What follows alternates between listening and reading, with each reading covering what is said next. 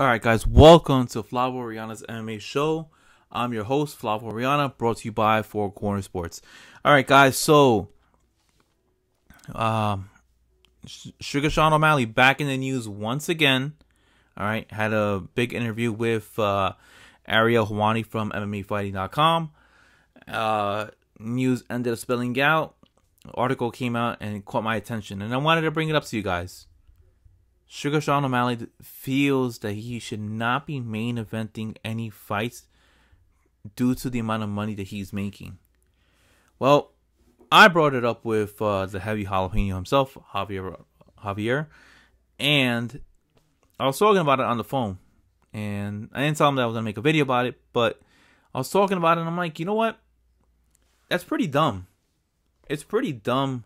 Um, you not wanting to make a fight, you not wanting to fight in the main event because you're not making you're not making the money that you should be. And I thought about it and I'm like you know that if you fight in the main event, right? That means that the UFC is really trying to push you into that echelon, right? And it just made me think I'm like Sean O'Malley in the past says that he doesn't want to fight anybody ranked because, you know, he feels like he deserves to get paid more and this all goes into fighter pay right? The the big topic of the last 2 or 3 years of you know should UFC fighters be getting paid a lot more than what they should? And the answer is yes but in Suga Sean O'Malley's case he's an unranked fighter all right has huge popularity right where the casual fan is able is going to be able to identify him all right He's not in the Conor McGregor, you know, stratosphere. He's not in the Jorge Masvidal stratosphere. He's not in the in the Nick or Nate Diaz stratosphere, all right, or Khabib stratosphere. He is like two or three levels below, okay. But he is well known enough that if you walk down the street, you at least know who he is, okay. And he feels like he should be, be getting paid more than he should to be main eventing. Well, I heavily disagree. All right and this is coming from a big Suga Sean O'Malley fan. The reason why I disagree is because one, he has had a lot of leverage, all right?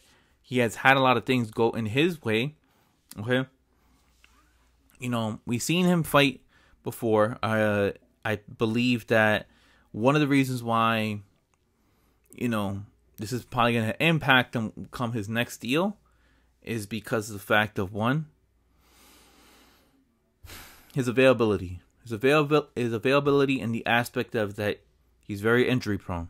All right, we've seen in his second UFC fight uh, against the I believe he was Filipino when he ended up breaking his leg or uh, what's it called like fracturing you know uh, his tibia or something like that. Right. We've seen in the Chito Vera fight where he had like um a dead leg. Uh, Chito Vera ended up leg, leg, leg kicking him, right? Right and hit him right in the good spot on the nerve, and the leg ended up, you know, uh, hurting. Right, he had no pressure on that leg whatsoever. Fight had to be displayed onto the floor, where Chito Vera ended up dominating. Okay. Um, look at the people that he's been fighting. All right, he fought Kris Moutinho. He made that guy into a star. All right, made that guy into a star, but that's also because of uh Moutinho's style was also you know contributed into that. Fought Eddie Wineland old Eddie Wineland from the WEC days, right? Where this guy is a shell of himself, regardless of what the birth certificate has says. He's been through wars, and he's not the same Eddie Wineland from from years past. He beat up Thomas Almeida, who at one point people were looking at as a very highly good prospect, but he just never could have lived, lived up to that hype.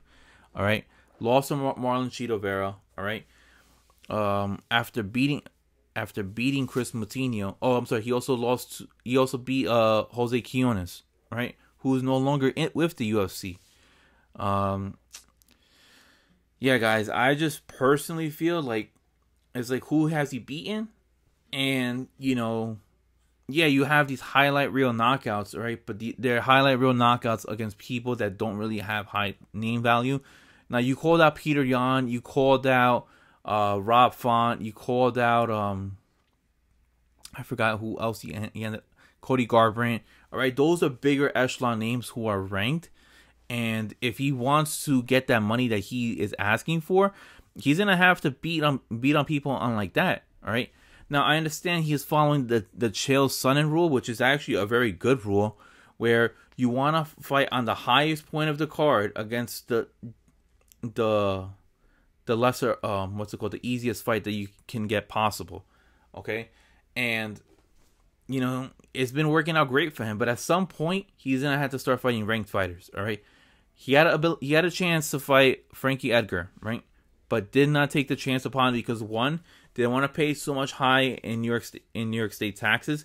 Completely understand that new york state and california are the two highest you know states that charge you the most tax. Okay, I believe it's California one, New York number two, and he, and he didn't want to pay those uh, taxes uh, to New York State. I completely understand that. Uh, he also said that he didn't want his corner. He didn't want to fight that same weekend because of UFC 268 because his cornerman, one of them, I believe, has a jiu-jitsu tournament that has been set out there for already a couple months in advance, and it's around that weekend. So they don't want to fight without his corner.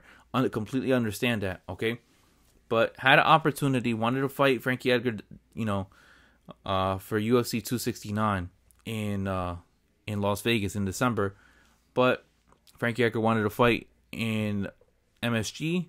Don't don't blame the guy, so he's fighting Marlon Chito Vera. Now, hopefully, Sean O'Malley is gonna be is gonna end up fighting somebody that's ranked. Who will that be? I have no idea because Cody Garbrandt is gonna fight Kai Kara-France in December. All right. Will he fight somebody of, of Rob Font? I highly doubt it. I don't think he has a fight, if I'm not mistaken. Um, maybe he might have to fight somebody like a Cody Stamann or a Song Yadong or something along that nature, where they're not high. They're not high up in the rankings. They're in that 15, 14, 13 echelon. But I feel that the what's it called with with uh, Suga Sean O'Malley, you know, he should be asking for these for main event fights just because if he's if he's so worried about on how much he's gonna get paid and how much money he deserves, that's the only way for the UFC to, you know, get you get you closer and closer to the to the number that you're looking for in your UFC contract. But highly disagree with him. You know, he should be main eventing. He is a name. He is a star. Okay, even though he hasn't beat anybody high in caliber, uh, with a with a great resume, you know, the guy has potential. The guy has potential. He's a very tall bantamweight. All right. Is he one of the biggest stars in bantamweight? He might be. All right. But hype around it, there's a lot of hype behind Suga Sean O'Malley. All right. You know, you have it's a very deep division. You have Jose Aldo in that division, Petr Yan, the champ uh, uh, Aljamain Sterling, Rob Font, T.J. Dillashaw. All right, you got Cory Sandhagen. The list goes on and on with this, all right? And Suga Sean O'Malley, if he actually started fighting ranked fighters, I believe he has a good chance of winning. And he and he will easily slide his way back into he'll easily slide his way into like a top five discussion on whether or not is he one of the best bantamweights in the world. But that's just my personal opinion, guys. Let me know. Let me guys. Let me know what you guys think about this. All right. Should Suga Sean O'Malley be fighting, you know, in fight night main events, or should he be following the same path that he's he's doing right now, which he's beating up on unranked fighters, and you know fighting on pay per view cards, fighting on the highest part of the card as possible, fighting the lowest ranked fighter. Right? Let me guys know. Let me, let me know what you guys think about it.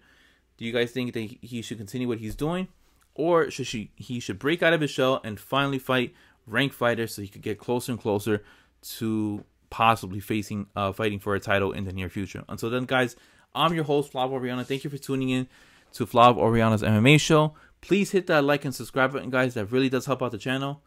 And I'll see you guys next time. Peace, guys, and have a good one.